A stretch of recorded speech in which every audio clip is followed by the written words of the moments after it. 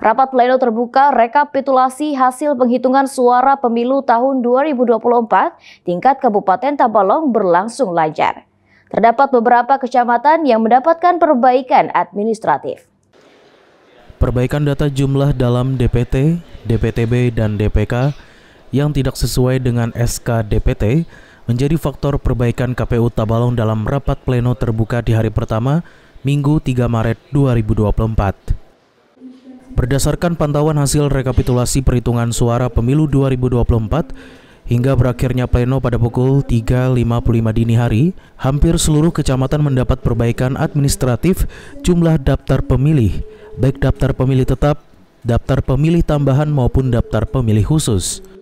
Dari 12 kecamatan di Tabalong, hanya kecamatan Bintang Ara yang tidak ada perbaikan. Adapun penggunaan hak pilih dalam DPT yang mengalami perbaikan secara keseluruhan, dari Capres hingga DPRD Kabupaten, yaitu Kecamatan Kelua, Harwai, Burungpudak, Upau, dan Jaro. Kemudian data DPK yang terjadi perbaikan di keseluruhan, yaitu Kecamatan Kelua, Harwai, Burungpudak, Muara Uya, dan Upau. Mohon maaf untuk catatan kejadian sendiri. Nah itu memang ada beberapa catatan tadi terutama memang yang menjadi fokus perhatian teman-teman dari Bawaslu adalah terkait dengan hal administratif. Jadi ada penyesuaian-penyesuaian yang memang nah ini tidak mengganggu terkait dengan hasil pilihan rakyat atau hasil pilihan pemilihan pilihan pemilih.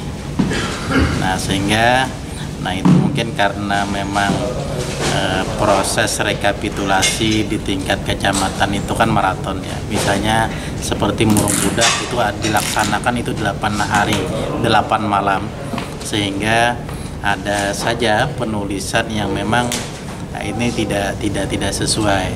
Misalnya jelas-jelas seperti jumlah DPT ternyata masih ada kesalahan. Kemudian juga terkait dengan penjumlahan misalnya tadi kan ada penjumlahan perolehan partai misalnya. Nah ternyata tadi ada keliru.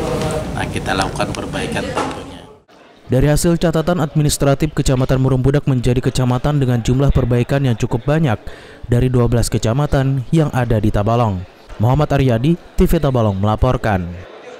Terima kasih sudah menonton video ini. Jangan lupa subscribe channel Tabalong hari ini dan nyalakan pemberitahuan untuk update info. Jangan lupa juga untuk like, komen, dan share videonya.